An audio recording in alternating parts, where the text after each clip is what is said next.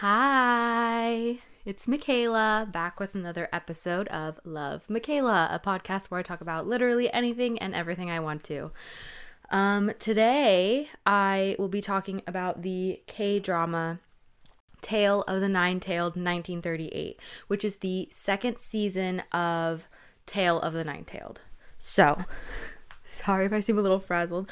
I had a mic situation earlier and I thought my mic wasn't working. I ordered a bunch of new equipment. Um, I'm trying to cancel some of it now. We'll see if that actually goes through or not. Uh, if not, it's fine. Uh, I'll just have extra stuff so that way if this happens again, then I'm not panicking. Um, but yeah. Whew, okay. so, um, if you have never seen the first season of Tale of the Nine Tailed and you want to, I would suggest. I'm gonna turn myself down because I was really loud for a little bit there. I'm also working against the clock because the battery is not fully charged on my camera, unfortunately. So hopefully it doesn't shut off in the middle. I'm gonna keep an eye on that. but yeah, um, Tale of the Nine Tailed, if you haven't watched that first season and you plan to, I would suggest not watching this because this whole thing is going to be a spoiler. I would say if you don't mind, I was going to say little things being spoiled. It's big things. There are big things being that would be spoiled if you watch this first. Um, you could watch the seasons not in order, but it's not going to hit as hard if you don't watch the first season first. But if you're like, I don't really want to watch the first season at all, the first season is a rom com. This season is more, I would say, of like an action buddy, not buddy comedy, but like it's more action packed and more about like friendship and sibling relationships versus a romantic relationship. And so if you're like not into the rom-commy aspect, then I would say that this is and you're you're cool with not having the full full story, then like go for watching this one first. But yeah, if you plan to watch the first one and you haven't yet, do not watch this because the whole thing is going to be a spoiler, okay? Going to give you like three seconds to leave. Okay, you should be gone. um, so I'm going to start out with first a synopsis. Again, I have my timer going. I'm keeping an eye on the battery, so hopefully this doesn't go too long. Ooh, it's already gone down 2%. Okay, we're going to keep going. So, okay, the lights. Here's my synopsis. Tale of the Nine-Tailed 1938 is the second season of Tale of the Nine-Tailed. Eon, our favorite Gumiho, has been sent to the past to retrieve an important stone. But when he shows up, he runs into some old friends and misses his chance to make it back to his home in time. There's the AC. Ooh, I can smell dinner cooking. While stuck in the past, he reconnects with his loved ones, makes some new friends, and fights some new and old enemies. While balancing taking care of those in the past and retrieving what he needs to make it home, he also has to deal with the occupation of Japan because this is taking place in Korea during 1938, and whether or not to help with the fight for independence. Will he make it back to his own time or will he be stuck in the past forever? Dun dun dun. I'm going to start out with everything spoiler free. Um, when I do hit spoilers, they will be chaptered on the YouTube video. Um, and I will also try and include timestamps in the description on Spotify. I have a lot to get through. There's four pages here of notes. I really love this show, and I really loved this season in particular. Um, so to do it justice I, I hadn't watched it in a long time so i rewatched it recently and while i was watching it i took a bunch of notes and i ended up with four pages. So i'm going to try and get through all of it before my battery dies and without going over an hour but we'll see if that happens or not. Um, if this is cut into two different places you're gonna you'll know why. It's because the battery on my camera died in the meantime. So spoiler free ahead. I'll warn you when there's spoilers okay? Cool. The intro to the show the song and the sequence that plays, like when they're um, uh, showing each of the characters and the actors that play them. I just realized I look kind of naked in the video. Sorry, I have a shirt on. I promise I have a shirt on. The I have a shirt on. I have a shirt on. Okay. um the intro and the all the character descriptions and the way that it's shot, it's really it's kind of like badass and it's very like flashy, very action packed, very just big, charactery, comic book. Those aren't real words, but if you get what I'm saying, like that's the kind of vibe that it is.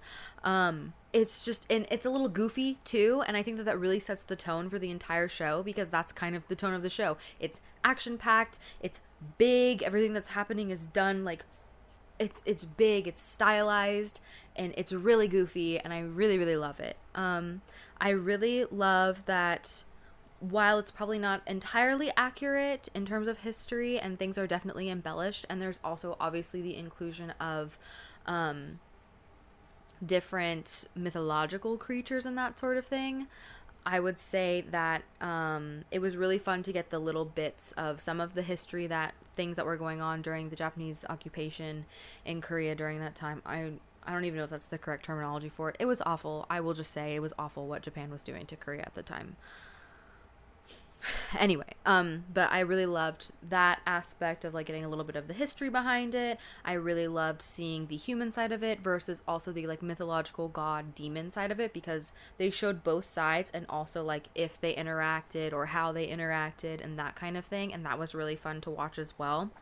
Um also just a fun side note the set that they were using is a set that they use every time they do anything during this time period. I recognized it. If you've seen Korean Odyssey, which is another show that I might do another podcast on at some point, but I'm gonna have to rewatch it because it's been forever. I've watched it like five times, so it's one of my favorites. They use the same set for when they go back to this time period as well. Excuse me. Motorcycle, thank you. That was really fun. And they also put little um blurbs up on the screen whenever there was like information to be had about like one of the like a historical thing that had happened or like one of the gods or demons that was being shown that was new. Like they had some indigenous gods that they kind of not intro well introduced on the show. I'm sure people who actually are familiar with korean folklore it's not new to them. But like they did that and that was really fun because i'm someone who likes to look stuff up like that after the fact. And so not having to look it up myself because it was already given to me was really um, convenient I, I, I would look it up like if you want more information. It was really just a basic description, but um, that was really really nice to see as well. I would say so. I've got the main stories of what happens in the show. So the main stories are the resistance against Japan's occupation, the mountain gods and their relationship, and um again this is the spoiler free section. It does include some of the stuff that happens obviously in the first episode as well as some of the stuff from the second episode, but those two episodes, a lot of the stuff that happens in those are kind of included in the trailer. And so I feel like it's not really a spoiler in that sense because it's included in the tra- like the teaser trailer for it if you look up like if you're like oh i might want to watch the show and you look it up like this stuff is basically everything that's included there. I'm not going to try and spoil like anything else. Um yeah the mountain gods and their relationship. I say that because they show one of the other mountain gods. Also it was talked about in like um press releases that the mountain gods was going to be like a big part of it. Um, and then the other one is the Fox brothers, which is Irang and Eon. Eon is the main character, and Irang is his little brother those are kind of the main stories. There's also another one that happens throughout, um, but I will talk about that later because it's kind of a spoiler. So, the characters that I can talk about without spoiling anything Eon. This character is so fun to watch. He's so in control, but also so goofy and clumsy, which is such a fun dynamic to watch a person play. Um, he's very powerful, but also he's like a little stupid sometimes, which is fun to watch and um, the actor who plays him, Lee Dong-wook, is incredible. Just one of the best actors I've ever seen ever. He's so funny. He's so charismatic. He's really great at doing these action heavy roles. Like he does stunts really well and he like is really giving it his all. He does drama really well. He does the gentle romantic side of things really well. He's just he has so much range. He's so good. If you don't know who he is, you must not watch K dramas ever because he's in so many things. He was in Touch Your Heart, loved him in that. He's in this. He was in um the Goblin Goblin one Goblin. I can't remember the full title of it. Dokkaebi. Y'all know. If you know, you know. Uh, he played the Grim Reaper. Um, he was like a creepy character in uh, Strangers from Hell. That was a really I wouldn't say that was a really good one. It was interesting. It was a little slow for my liking, but it was still good. Like the acting was amazing in it, of course. Im um Im Si-wan was in it as well, and I love him too as an actor. Um, but yeah, Lee Dong Wook, incredible actor. He's just he's great. I really like. I couldn't even give you so many specifics because we would be here for like an hour, and we don't have time for that. So, um, but yeah. So Eon is the Gumiho, the main character, played by Lee Dong Wook. Irang is um, another character that's a main character in the show. He is um, Characters. I'm gonna call him Yon. He's Yon's um, half brother. He's um, half fox and half human, and he's a very complex character. He's dealing with a lot of abandonment issues and other issues that he has not worked through at all, which leads to a very complicated, complex character that you love but also hate. Um, I love him, and I love the actor who plays him. Kim Bum is truly an incredible actor. I loved seeing more of him because we didn't see as much of him in the first season because the first season was more focused on the romance between um, Eon and his forever love whose name I can't remember right now, but she's played by Jo Bo-ah, I think is her name. Um, and she was great too. But yeah, Kimbo, my love. Um, I think he's an incredible actor. He's got great range, just like Dong does. But I feel like he brings a more subtlety to a lot of his characters, which is so fun to watch. And just the intricacies that he applies to his characters. He's so specific about his characters, and that just makes them so much more interesting and I find that really admirable. And I even um, purchased an online course of like a class basically that he taught that I still have access to. I need to rewatch it because I only have it for I think a couple more months at this point because you have access to it for a year. And um he the way he approaches his character and building his character and its emotions the character's emotions and the arc that the character goes through is so incredible and so cool in such an interesting and unique way. Sorry i'm just gonna look at the okay. Uh the battery of my camera. I know i'm talking so fast. I'm so sorry. Yeah um, you can't do much else about it, bud. If you see me change locations also, so I can get closer, so I can plug my camera in to record, so it's charging while I'm recording, that might be a thing that happens. Just a heads up. Um, Spotify, you guys won't know. You'll you won't know. I'll have cut out the middle part of the audio anyway, so it doesn't matter. But anyway, um, it, it he's just a great actor to watch. I love watching him work and I love him specifically as Rang because I think the character is so complicated and he does it so well. Um, another main character in the show is Hongju. She is one of the other mountain gods. She's introduced in the teaser trailer. I mean, you don't really know who she is, but like, come on. And it's talked about in a lot of the blurbs and teasers that came out um, in the articles, so I'm not gonna think it's a spoiler. Um, she's really badass. She's very sultry. She's very confident and sure of herself, and I love that about her. I love a strong woman who doesn't. Um, and she's so funny, and she makes these choices not i think honestly i think there were actor choices as well not just written things like stuff that's written into the script. She makes these choices that are so out there and bold that you're like why? This shouldn't work but it does and i think that's so incredible. I don't know the actress's name so sorry i should have looked it up. Um i did look it up. I didn't write it down for whatever reason. Um but she was incredible. She's a great actor i'm sure I don't know if I've seen her in anything else, but I wouldn't be surprised if she's in other things because she is so good. Um, and I love that the character Hongju just has this really big heart. I think all of the characters in the show really have a big heart, but they show it in different ways. And she's so protective and so strong, but also like loves to play the dainty side as well. And I just, she's just a great character. I loved watching her. she's just so funny. Um, there were also a few characters that were um, repeated re- repeats from the last season, from the very first season.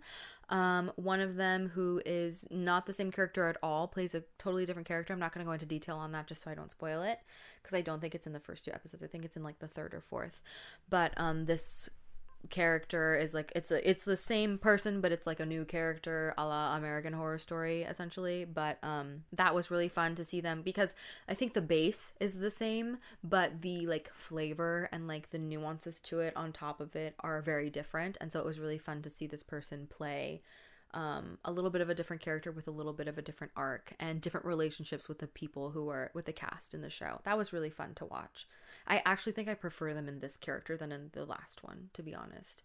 Um, there were also characters returning as themselves, but they were the older version because this is in the past. Not older, but like the, I guess, younger technically version because it's in the past. Um, and so it was fun to see them before they had a little bit more. Like it's like going back in the character development. It was fun to see like who they had been at the time. Like one of them was more timid than they had been. One of them seemed a little bit more like go and get it, ready to like do things like a mover and shaker. Um, that was really fun to watch. I think a big aspect of the good part of the show is the relationships in the show. the brothers bond and seeing how it has changed because Eon is coming from the future and he's a lot more healed as a human than he is in this current time. Like we meet Eon's character from 1938, like he meets himself, kind of a loser. Um, he's an addict, like he's addicted to opium. He is very heartbroken over his first love and still not having found her yet. He finds her in the first season, so it's fine. Um, but just kind of a loser, beating people up for no reason, just, you know, not the best, which, you know, is a testament to Lee Dong Wook is like I don't know, he's just a very likable guy in general, and so I think the characters he plays end up being like he's able to play them in a way that makes them all likable even when they're not the best. Um, and so that is a fun thing to see, but his character is kind of a loser, yeah.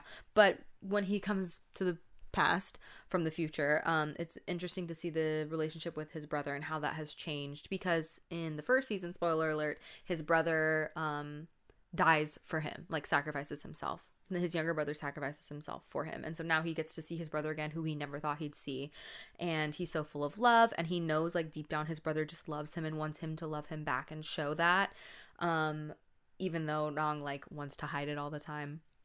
So it's interesting to see how that dynamic plays out but also interesting to like see the aspect of okay is he being so kind to him because he really does just love him? Or is there also is it either fully from this place or also is there a point of like some of it's coming from some guilt because his brother died for him. I think that's fun as an actor to play with and also just to see as an audience member, like watch how that kind of plays out.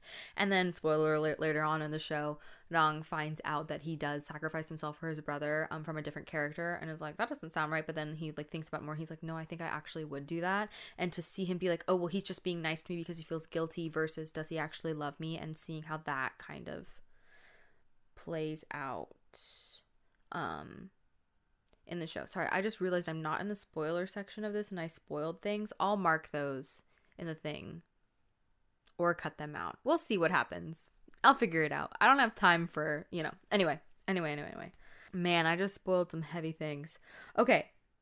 Yes, the relationship. It's very fun to see the brothers bond and how it has changed over time. Um Eon has yeah, yeah. I'm gonna stop there before I spoil anything else. Ah, am I gonna have to film this again later? I hope not. Um, there's also well, some of it's spoilers because from the first season, and some of it's spoilers for this. But okay, relationship between the friends um of the the mountain gods, which is um Eon is a mountain god. He's a Gumiho, but he's also one of the mountain gods, and Hongju is also one of the other mountain gods. Um, I feel like it's not a spoiler to talk about because they again they talked about it in like the press releases and stuff for it. Um, and it's interesting to see their relationship and how they became friends. Um, and it's also really fun to see the relationship between their, I don't want to call them sidekicks, but that's kind of what they are the sidekicks of each of these main characters. So Mion is um, like right hand man, um, a member of his gang. Jaeyu is Hongju, um, Hongju's right hand man and Shinju is um Eon's right-hand man who we've met in the first season already. And it's fun to see their dynamic play out between the three of them and how they grow as a little trio in the show. First kind of being completely separate and then seeing how that progresses. Um or does it progress? I don't know. Do they still hate each other by the end of it? We don't know. Again this is a spoiler free section. So sorry about the other two previous spoilers. Again I'll I'll mark it down uh in the information. So don't worry you'll be able to see it and skip it. But yeah. I also want to say one of the things I loved about the season without spoiling anything. I need to remind myself now. It was way scarier than the first season, in my opinion, but it was also also way goofier, way more action packed. It's basically like I feel like they upped everything. Like if the last season was a five, they brought it up to like a 12 in this season, and it made it so much more fun and engaging to watch. It's definitely a show you can binge watch for sure. I watched it as it came out, but I've been binge watching it. Could I have been, I could have binge watched it, I don't think all in one day because it's 12 episodes and they're each about an hour long. I guess I could if I really tried, but I've been really busy with work and keeping stuff updated on the YouTube. So that's taken a while. But um you could totally binge watch this. It's very very good and it's very it's very fast paced it keeps moving and keeps moving and keeps moving. And there's also like mini stories in between of things that are happening. So it's it's it's really like it keeps you on your toes. Like it's not something you'll get bored watching, I don't think. Um and I also want to just say like with the even with the lack of romance being the center because I'm very much a rom-com girly, um I still really enjoyed it and I I honestly think it's my favorite. Like I like it better than the first season, even though the first season is the rom-com season because it's focused on Eon and his relationship with Alm, I think is her name um the the his like one and only love for his whole life. Um that's what that whole season is focused on but i still liked this one more. I think just because the relationships were so dynamic in the show and um they were so interesting and the story itself was interesting and then also the as the like historical like occupation aspect of it was really interesting to watch as well. Um, the few downsides that I can talk about without spoiling anything, um, I don't know how this fits into the timeline of things like in the reality of this world because he's going back in time. He even meets his past self, but then he's told at the beginning, like, oh, what you do here won't affect anything, don't worry, and time moves differently here. So is it like a pocket dimension? Is it like he's creating a parallel alternate universe with the changes he's made? Like, I don't know. That's very confusing for me. you can't think about it too long because it doesn't make sense. So uh, that's one of the things not really a downside downside it's just like in my head like i'm like where does this fit into things and how could the story continue if this is happening basically is why i'm like oh not my favorite thing. My other issue is the ending was fine it wasn't fully satisfying. If you know you know that i don't mind a sad ending or a happy ending i prefer happy endings but i don't mind a sad ending as long as it is satisfying it was just shy of being fully satisfying for me and i'll talk about that more in the spoiler section but it was just like there was a thing that happened that i was like ah we could have left that out and it would have been a closed chapter of a book essentially and it, it kind of wasn't. It was but it wasn't. Um it could also be a bias because i love this cast and this story so much that i do want another season so that could also just be why i was like oh not super satisfying because i'm like i want more. We'll see that's not necessarily a bad thing though. Okay, now is for real spoiler sections ahead. It's all spoilers, okay? I know I already messed up once. This is all spoilers, okay? Okay? Be prepared for that. You need to click out if you plan to watch the second season and you don't want spoilers. Okay? Okay? Final warning. Leave if you don't want spoilers. Leave now. Click ahead to the other timestamps, to the other chapters. Got it? Okay, we're gonna keep moving. Keep the train moving. Okay, spoilers. The characters, um, for Irang, I couldn't talk about him too much in the first one because it's a bunch of spoilers, but um, seeing his so one of the storylines is he has a love interest now. I've never seen him in a romantic interest like this heavily before. He kind of was. I didn't watch him in Boys Over Flowers. Sorry, I didn't see him in that one yet. Uh, I can't even bring myself to finish the first version of it that I tried. So yeah, there's that. And he kind of had one in law school, but not really. They weren't like overtly having a rom commy moment thing. But in this, he definitely has a romance. And him and the mermaid Yohi, it's very fun to see how they interact and how she like makes him feel. It's very clear that Irang has a big heart and is very scared of being abandoned and very afraid of he's the kind of person because his heart is so big he's the kind of person that attracts people to build a family but he's so afraid of being abandoned again because we see he was abandoned by his father first. He's abandoned then by his mother, who is human, who thinks he's a monster. He's beat up by people in the village, kicked out of the village, left in the forest, where he's found by his older brother Yon, who takes care of him for a while and then abandons him also because and his whole mountain because he um wants to go and be with this human woman that he's fallen in love with. And so he's severe abandonment issues. It's very clear. It's very clear that this leads to a lot of self-sabotage on Rang's part. It's just interesting to see him now be loved by someone who's fully like, "No, I'm not going to let you go. Like I love you and I want to be around you and I will help you in whatever way I can." But like this is it. Like, this is it, buddy. I'm not leaving. Like, I love you and I want to be around you. Okay. I love that. And I love to see how that kind of changed him and how even like like there's a moment where she tells him to she wants a kiss from him as a payment for like a debt he owes her and he turns away and i was like really shocked because i was like i really thought that they kissed. I thought they kissed in this episode did they not? Like i was like did my memory betray me? And no they do kiss. It's just he turns away because he doesn't want it to be a form of payment. He wants it to be like a very valid feeling between the two of them and then they do kiss and it's really cute. Um was i jealous? Yes very jealous. Because one i like him. I think he's cute. And two like he's a great actor and i'd love to share a moment like that with him um because i feel like you'd really be feeling it in the moment yeah i just thought that, that I, I i love him i love his character and i love the actor Mu Young couldn't talk about him before the spoilers, um, because he is the other. We we find out he's the other mountain god, and um, he's kind of a villain in the beginning. Um, I fully wondered whether he had the full story, if he knew he was a villain or not. I know some of these shows film kind of like in order, and so sometimes people don't find out that they're dying or that they're the bad guy or like some big plot twist. They don't find out until the day that they're like filming it or like the day before they're filming it because they get the script a little bit early. Um, and so I wonder if he had the whole story or not because this character was so complex. The story is that he is also one of the mountain gods, but he is sealed away because he destroyed his whole mountain. He destroyed his whole mountain because his brother was killed by Yon, and that's why he is fighting Yon, and he is actually the bad guy because he is trying to revive his older brother. I'm for sure gonna have to change locations. Just a head up, heads up. When this hits 10%, I'm moving locations, plugging that baby in because I don't have time to refilm this again.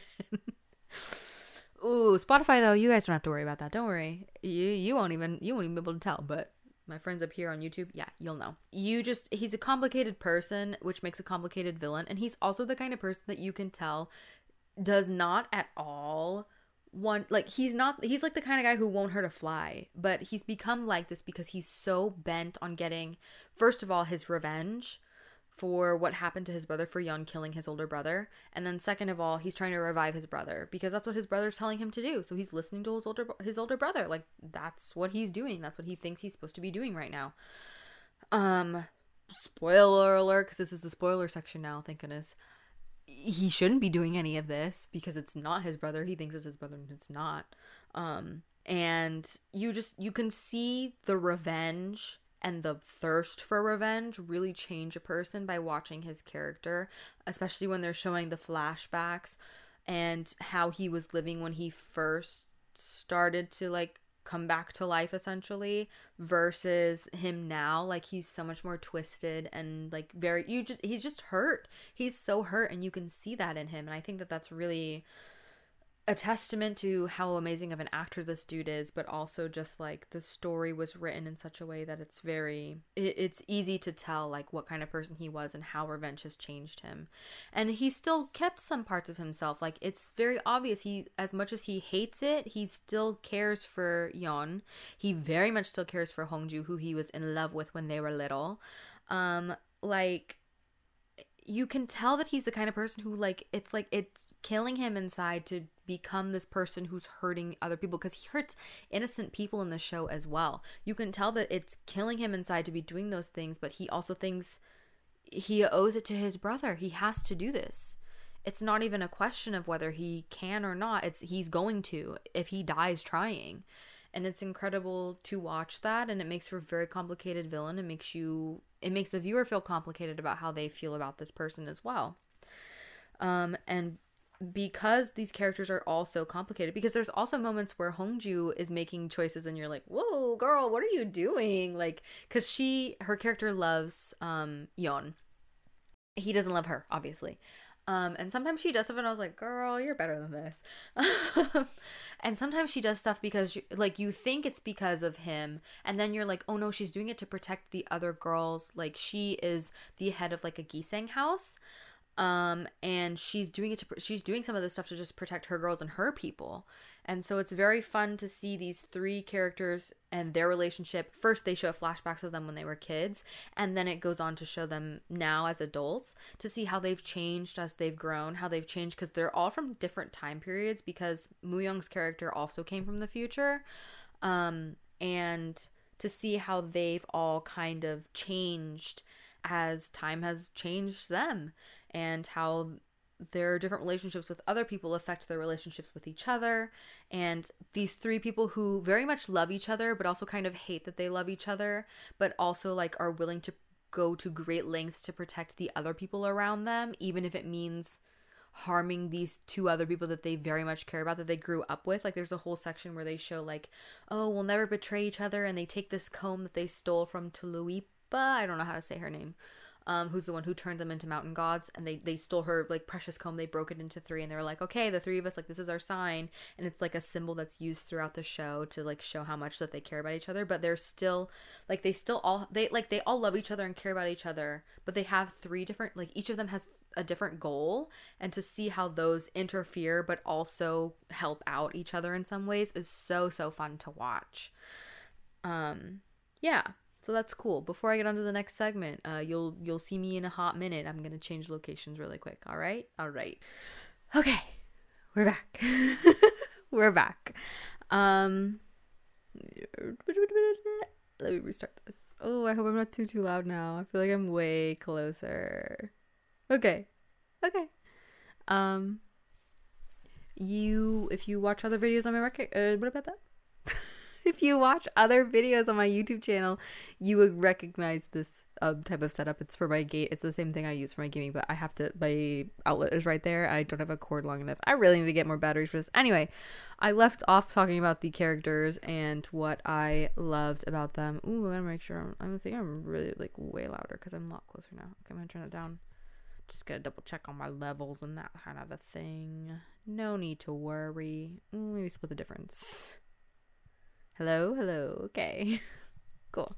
Also, if you didn't notice, I have this is my little buddy. I love them.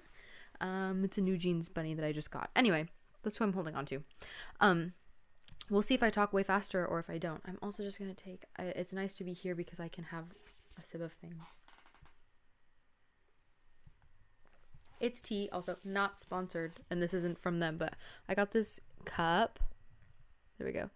Um, from the Viki Rakuten booth at KCON, and it's really really cute, and I and I love it. Sorry, the lights. They've been doing that. If you've uh, been watching my gaming stuff, you'll know that it's been an issue with the lighting. Um, yeah. Anyway, back to the show. spoilers. Also, we're still in spoilers. Um, Maybe I'll mark down where this little transition happened because I want you guys to see my little bunny buddy. Um, if you can. Yeah. Okay, back into spoilers. Um, yeah, I think the relationships made this show really, really interesting to watch. I got my notes here. Don't worry. uh, like I said before in the non spoiler section, I really felt that this one was way scarier than the last season had been. Um, one of the things that really contributed to this, which is like one of the things that has stuck with me since I watched it the first time, is they play this corner game. And the corner game leads to them going into, I believe it's called like the land between death and life or something like that. Um, and it's where this, the Joseon Tiger lives, who is very creepy. Um, able to mimic like everything that he can do is really scary and terrifying because he almost seems like he can overpower the mountain gods, which like we had not really seen before. And um, he's in a space where Taluipa, Taluipa, I again still don't know how to say her name, um, where she cannot see, which is like unheard of, and so it's it's very scary, but like yeah and his whole deal is kind of scary because he's he's like a master imitator that's kind of his thing and then there's a whole moment where he's imitating Eon and Rang is like, Do I fall for this? Do I not? And almost gets like pulled in, and it's like one of the scariest things I've ever seen. But anyway, so there's this thing. There's this thing. Uh, they play this game called the Corner Game, the Gisungs. Gisaengs, not Gisungs. Gisaengs. Um, we're having a educational math lesson with um, one of the other characters. Um, and the lights, the electricity goes out and they're like, oh, well, we can't keep learning because it's too dark to learn. And so instead, they decide to play the corner game. Um, so I've written down what the corner game essentially is. You can Google this. Um, if you Google the corner game, stuff will come up. I'm going to try to not block my face with this. I've never done this setup like this before. You usually aren't this close to me. Um, hmm that's probably fine. Um, I looked it up. You can Google it. There's different rules. I'm going to kind of go over what I Googled in conjunction with um, the way that they played it in the show. So if it's a little bit different, there's some variations on it. That's why. So the corner game, an urban legend type of game that originated somewhere in East Asia, likely Korea or Japan. Um, that's said to summon a dead spirit or sometimes can send someone to another world. So the way you play it is, at least in the show, because I've read that it's five people, but in the show they do four people. So four people enter an empty room and each pick a corner to stand in. So imagine we're using my room. So we have one corner over here, this corner back here, the dead zone. If you know, you know. There's another corner over here by my door, and then another corner here. Right, four corners. It's a square rectangle room, right? Like most rooms. Um, each so four people. Each person stands in a corner. Again, I'm going off of the show, and if you look it up, they'll explain how to play with five people each person stands in a corner and then in the show this is how they did it. I think the rules were a little bit different when i looked it up because it's like you say your name three times or something like that. I don't know. But anyway in the show uh, they each say their name the normal way forwards to start the game. And if you want to finish the game you have to say your name backwards which now that i think about it if i were to play the game which i would never because this is scary and i don't mess with stuff like that typically um especially when it's called a game uh you would say your name backwards. I don't know how I would do that, but like a lot of um Korean names are like two syllables technically, like if it's just your first name and not your last name. And so you would say the syllables in the opposite order. So it's not necessarily like fully backwards, at least in the show. That's not how they did it, but like I don't know how I would do my name. Very interesting to think about. Um Anyway, you say your name backwards to end the game. The lights should be out except for like a few lights on in the middle of the room so you can kind of see where you're going. So in the show, because the power was out, they were like, it's the perfect time to play the corner game because they just light some candles and put those in the center of the room. Um, they and in the show they they say their name forwards. The game starts. The way you play the game is there's a person in each corner. So one here, one here, one over here, one over here. The first person who starts will then move clockwise to the next corner. So I guess it would be this way in here. I don't know if this is going to be reversed or mirrored for you or not, but you know, you're you kind of get what I mean. Um, so I'm just going to move that down a little bit so you can see my face a little bit better. Um, so from one corner, this person would then move to the next corner, and then in the show, you oh, almost forgot. This is so important. You don't speak during the game at all. If you speak, you could ruin everything. Important.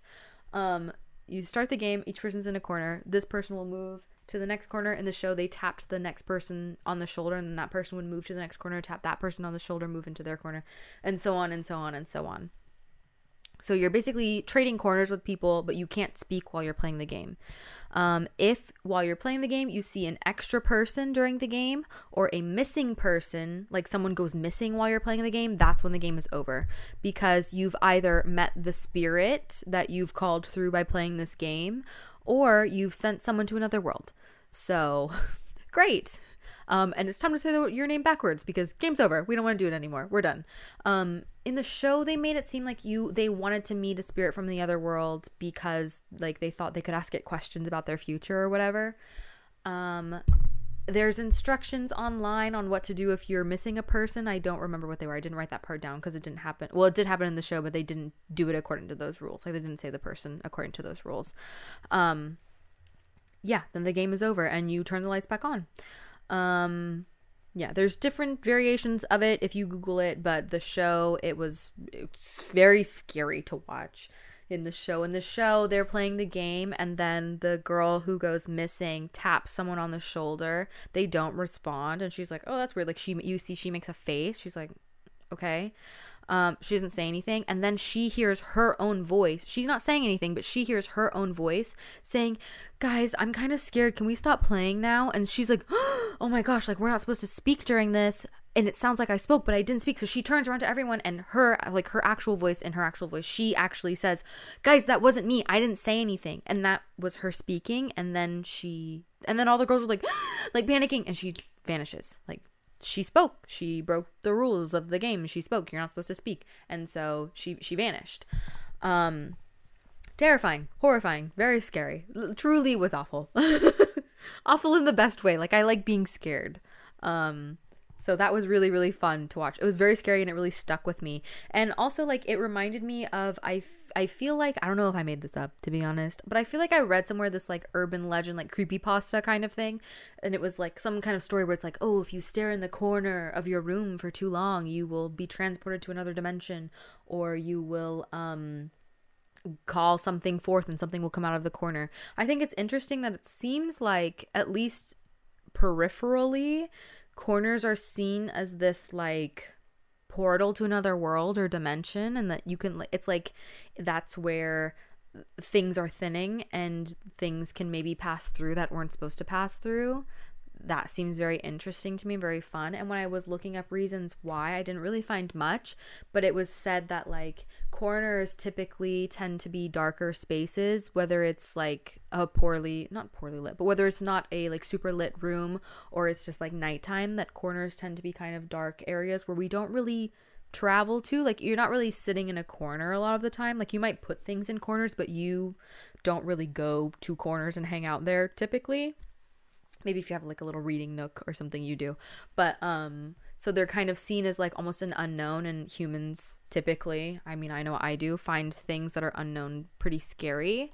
And so it leads to this idea that oh there's like another portal here. It goes to somewhere else and that's why we avoid it because we're afraid of it because we don't want to go to the unknown essentially which i think is fun. And also kind of ties into my whole corner being a dead zone so that's kind of cool i guess in a way. It is a spooky month october after all um but that that scene like that whole section of the show very much stuck with me for really a long time. Like it's the one thing that really really stood out to me and i was like oh yeah this show was scary because that that'll get me every time. Like even just thinking about it i'm like ooh oh man like it it's good. The way that they did it was really good. And then they do it again to save her like the the three mountain gods do this again to save her. And um, even then it was scary. Even though i know that these are powerful beings it's like oh man like it, it's scary. It's very scary. Very spooky and it was fun to watch. Um there's also some other like aspects of it that i was like oh that's kind of fun like the supernatural like i don't know if it's witchy per se but like the supernatural aspects of it were like which also later on like there's a, a bunch of different rituals that have to happen in the show for various reasons. One of them is Mu Young. like like i said before he's trying to bring back his brother to get revenge and also because he misses his brother and wants his brother back. And it's very clear while he's doing the ritual which i don't know if i already said this it's not his brother it's someone else trying to get him to bring him back is disastrous. But the ritual he does to bring this man back you're like Mu Young, honey Like it looks bad. It doesn't look like something to bring someone back in a nice way. It like seems to it looks like a ritual that's being done to bring back like a malicious spirit, someone who has malicious intent. Like you're like, dude, maybe not the best move, maybe not the smartest, brightest move, and we shouldn't have done that. Um, but it it was definitely interesting to watch, and I also thought it was really fun that um, Eon Lee Dong-wook's character, the the Gumiho, the nine-tailed fox, um, he misses his deadline to get back the first time with the stone. And so his next chance to get back, they're like, oh, well, you can only do it during a lunar eclipse. And so he has to go back during a lunar eclipse, which I was like, oh, that's fun. Because if you've watched my Let's Play, you know I, I talked about how much I like the moon and feel connected to the moon. There was a solar eclipse recently that happened. Um, I did a little vlog during it. It'll probably come out after this because this needs to go out like ASAP, which is why it's kind of janky setup like i'm switching where i'm sitting even though like yeah. Um anyway uh i did like a little vlog during it. I made some eclipse water because i guess that's a thing you can do. Um and i actually might use it soon.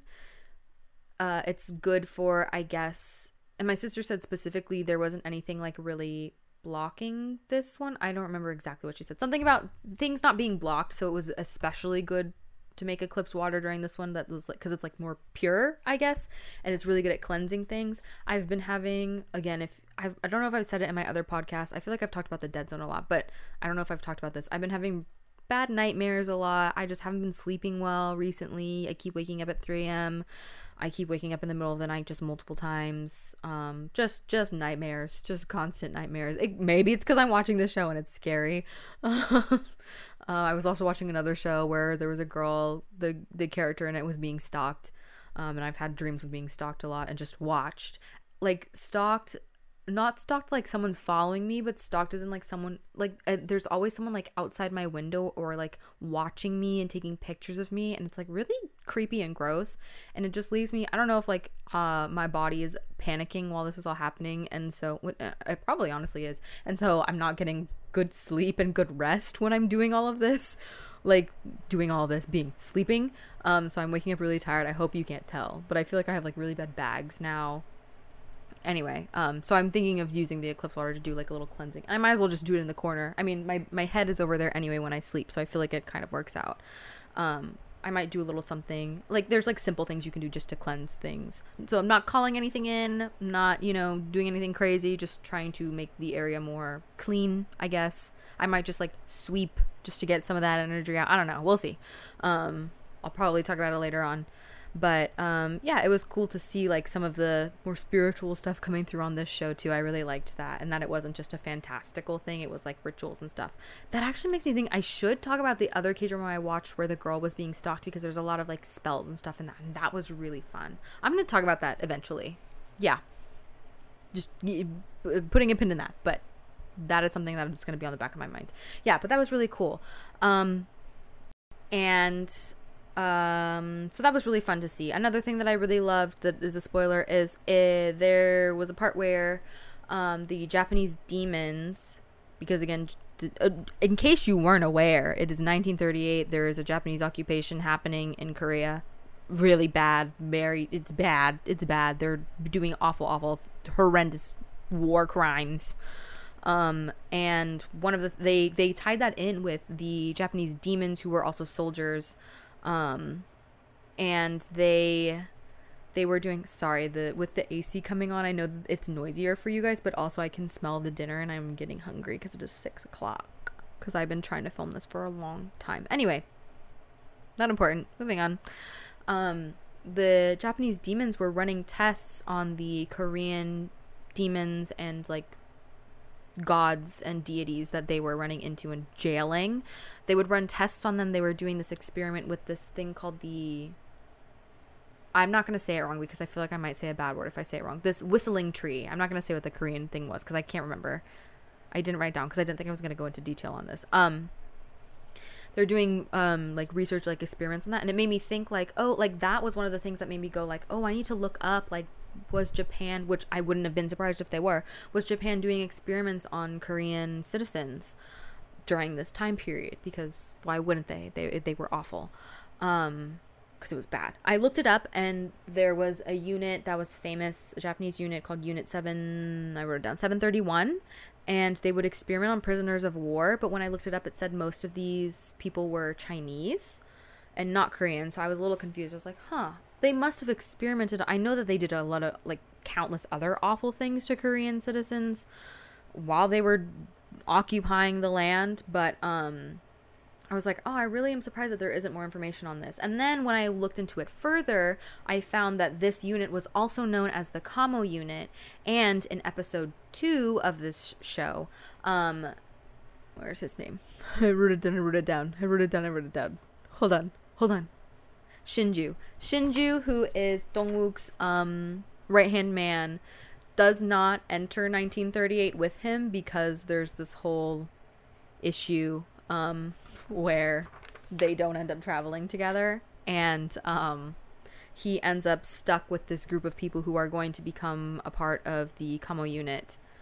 Um, and I was like, "Oh, that's how that tied into that because they're on they're he's stuck with them on the train, but then they escape and he like frees them essentially, which was cool. But also I was like, "Oh, okay, that's how that ties in." That was really fun to like look into that and figure that out. Um, what else? Oh, the romance. So, did I already mention this? There's a romance. I did a little bit when I talked about his character. The romance between Dong and the mermaid Sohee. I wrote it down. Yohee. Sorry. Between him and her, it was very fun to see how they changed each other. It was very sweet. It was cute to see like her trying to like flirt with him and like start things with him, and then he would have a reaction that she was like, "That is not at all was what I was expecting," but it was still very sweet, like but sweet in his way. I really loved that, and I loved seeing how um they both changed each other. Like she became a lot prouder, more confident in her in herself and like because she was also half too. Um and she was like proud of her voice now because she used to think her voice was ugly. She just wanted to be able to sing pretty, but she could use her voice as a weapon. And Dong was like, "That's the best part of you. Like that's so cool that you can defend yourself and protect yourself like that." Because he finds stuff like that cool. And then to also see how she kind of mellowed him out a little bit, and he became a bit more softer. He was able to accept help a little bit more easily, not fully, but a little bit more easily, and that was fun to see.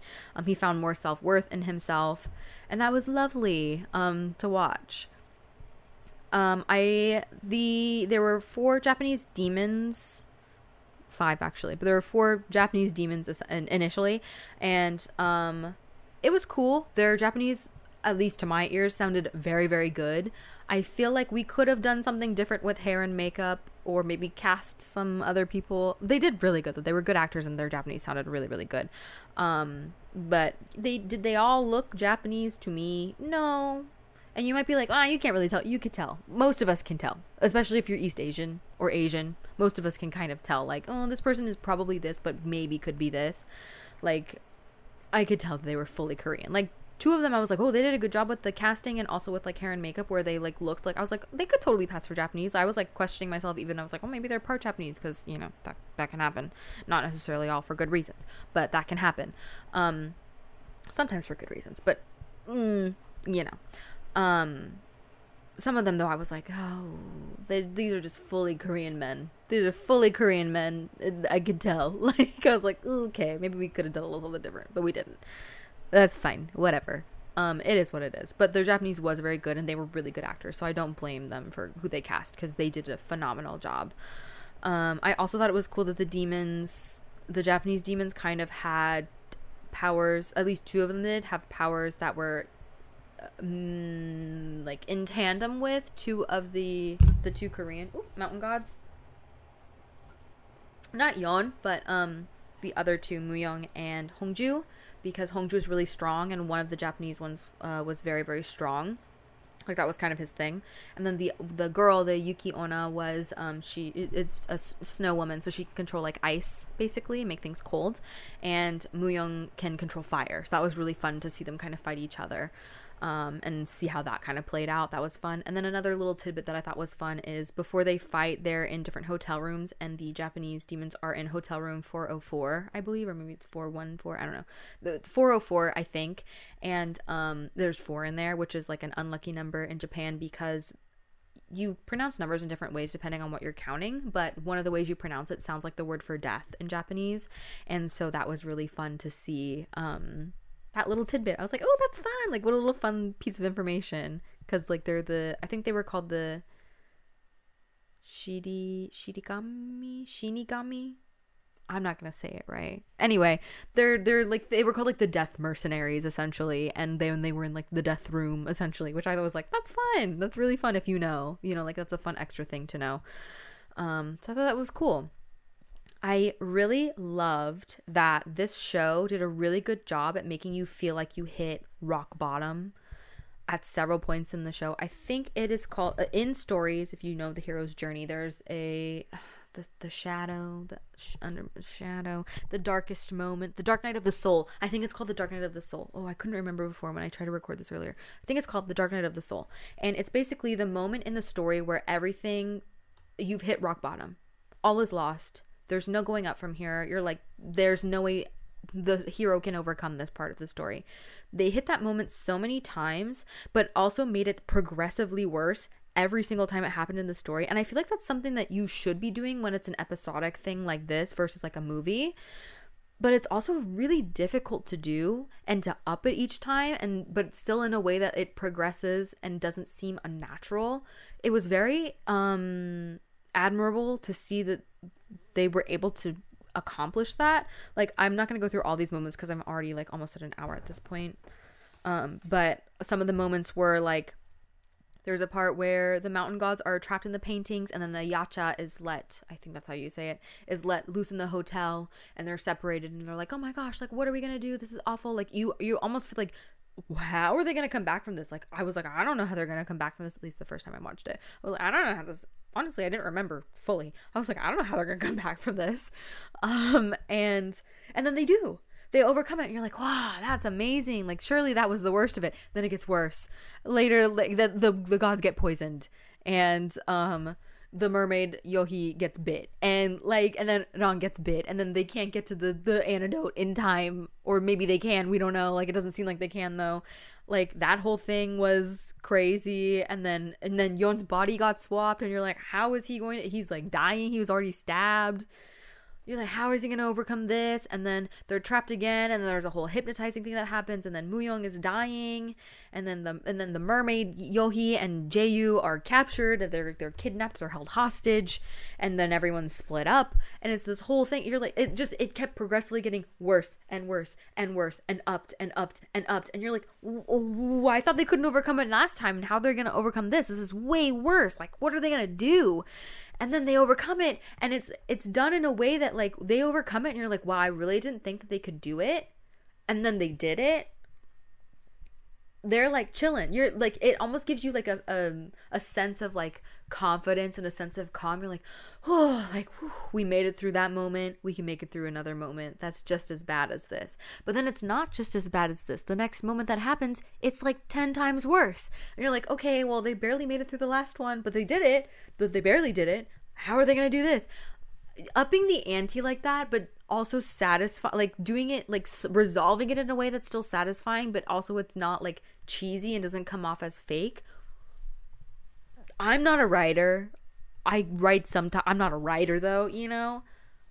Incredible. Like it was done so well that i was just like wow that's good. And i'm sure like obviously the actors have a part in that but it was like the writing i was just like beautiful. So good. So so so good. I also really loved the villains in this. They did a great job. I'm not talking about Muyong. He did do a great job, but like the villains who are just purely villains who don't have redeeming qualities, all the Japanese people, the soldiers and the demons. For obvious reasons, they were the villains. like you know, we're not gonna we're not pretend. The, yeah, um, but uh, they were really good because during the show, I didn't personally feel any remorse. I didn't feel pity for any of them at any point, even when they were being killed. I really didn't. Like I didn't feel bad for them. I felt bad for some of the like honestly no, I didn't even feel that bad for the like innocents who were dying. I, felt a little bit like the like 1% bad for them, but like especially for like the soldiers and the demons, I didn't feel bad for them at all. And they were doing some tough stuff. Like I like to play a mean girl sometimes cuz I think it's fun. Um, and it's nice to do that in a controlled environment. And I'm pretty good at it, to be honest. Not to toot my own horn. Like, I'm pretty good at it though.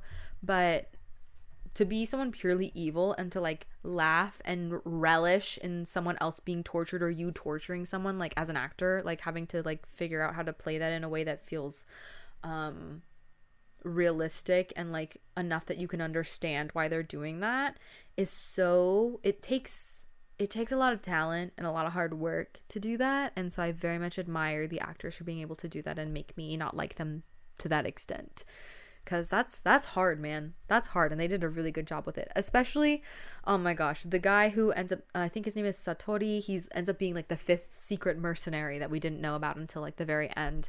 Um he he plays the dumbest most annoying hypnotist sidekick in the in the beginning where we don't know there's like a twist and it's like oh the guy who was the he thought was the hypnotist sidekick is actually like this big crazy powerful dude.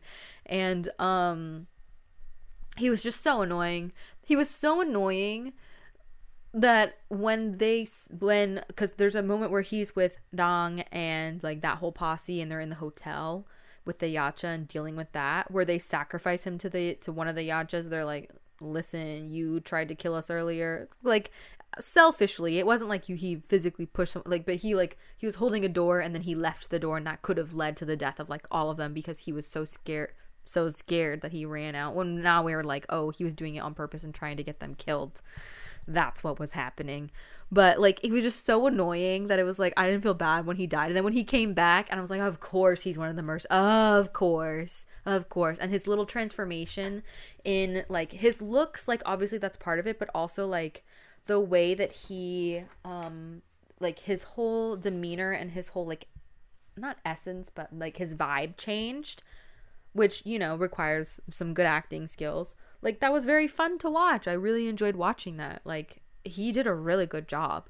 Um, something else that I really loved was the countdown that they did in the final episode, where they had like a little timer on it. was like, okay, D two, like two days until um Eon has to leave with the stone, which we find out later. The re- the whole reason is there's a stone. There's different artifacts. There's four artifacts. One is the stone that was stolen from the future, and then he has to go back to the past and get it. That's the whole reason why this whole thing started.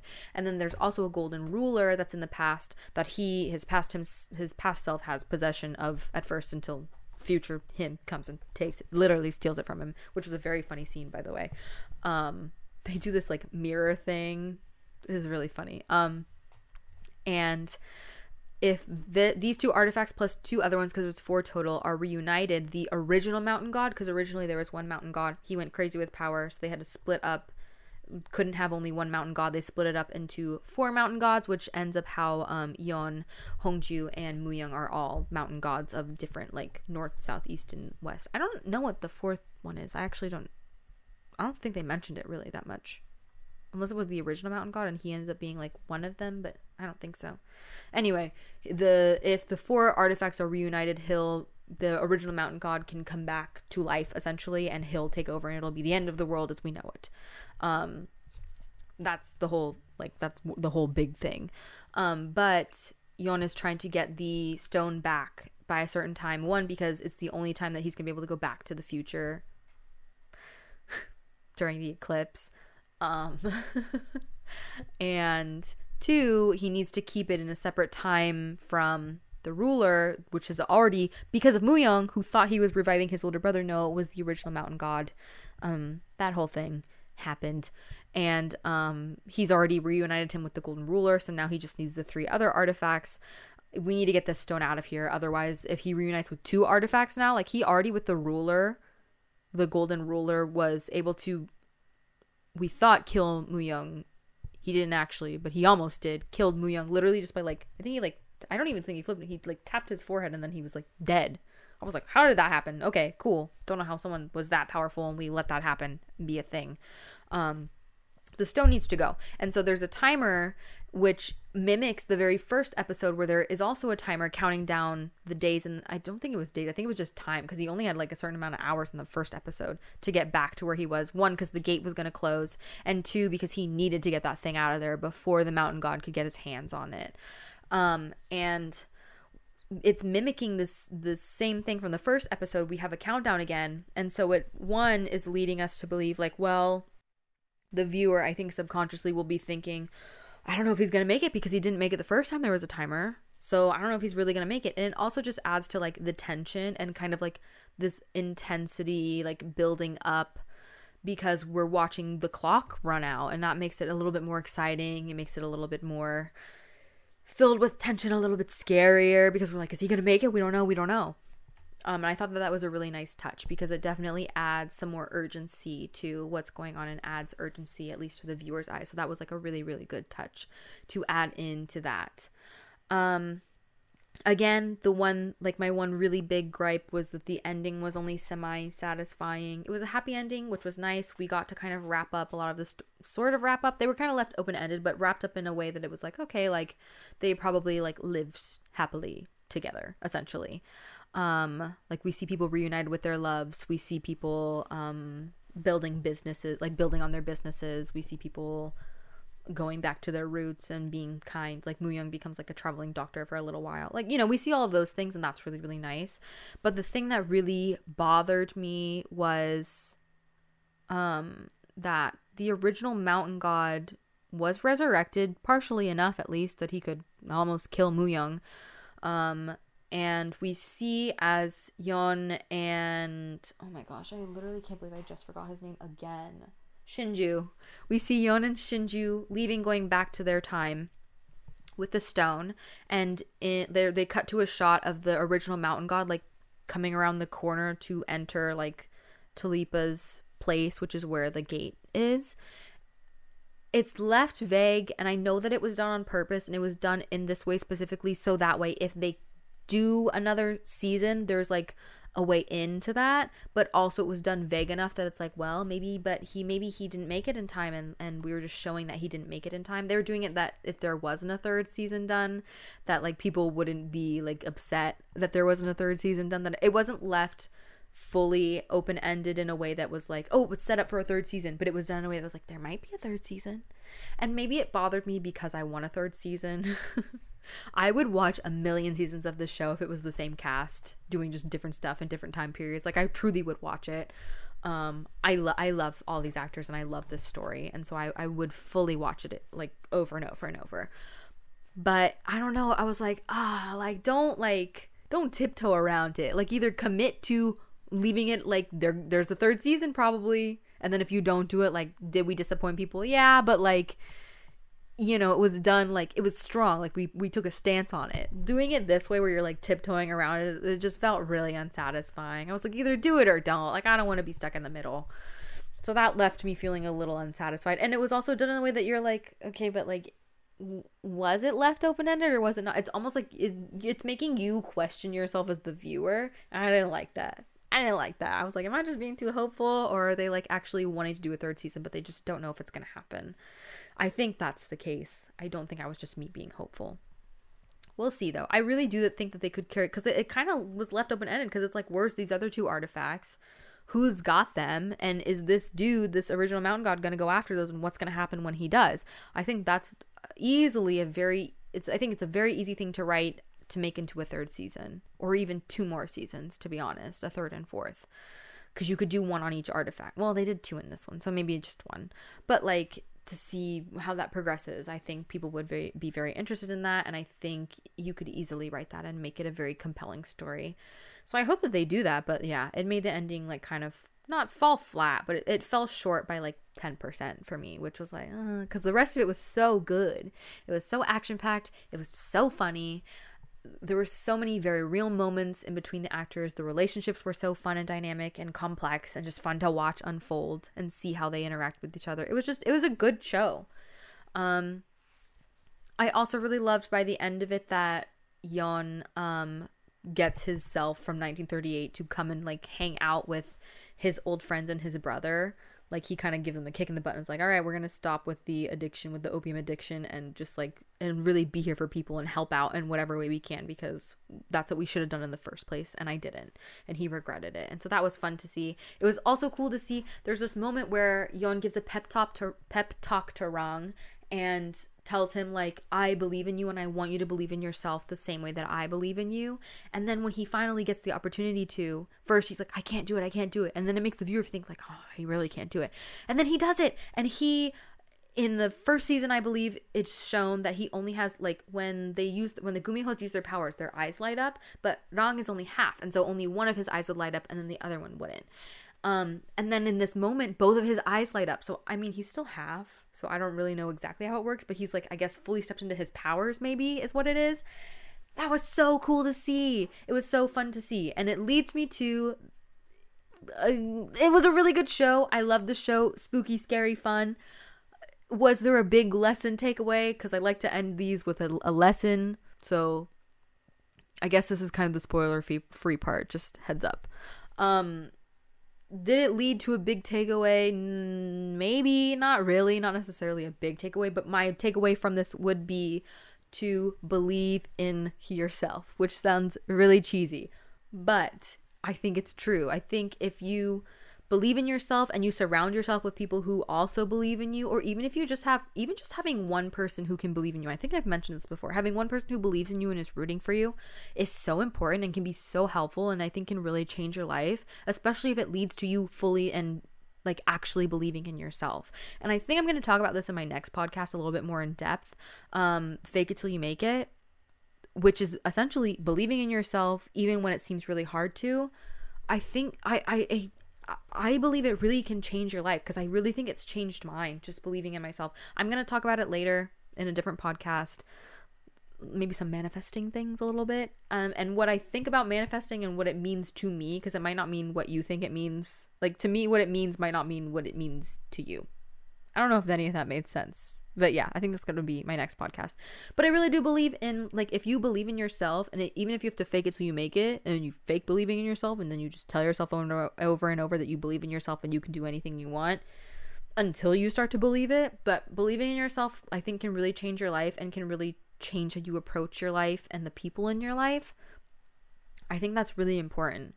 So yeah i guess that's my lesson. But also like go watch this show if you haven't Um, if I spoiled it for you, listen, that was that's your own fault. I really I put markers in there for you, man. I really did. In the beginning, if I spoiled it a little bit, may, okay, maybe that's a little on me because that was kind of an accident. But I am gonna mark those down, so don't worry about that. But um, like, man, it's a good show. Believe in yourself and also go watch this show if you have it because it's so good. Um, it's a fun, easy watch. It's very fast paced. It's easy to binge go check it out. It was really good. And the acting's incredible and the storytelling is incredible. So, yeah, really good show. And believe in yourself. um, thanks for sticking around this long if you did. I hope you enjoyed it. I hope you have a lovely rest of your day, evening, morning, weekend, week, week. I was going to say weekday, and then I was like, that doesn't make sense. Week, lovely rest of your week, whatever it is for you. Thank you so much for sticking around, hanging out with me. Um, and I hope to see you next time. All right. Love, Mikaela. Bye.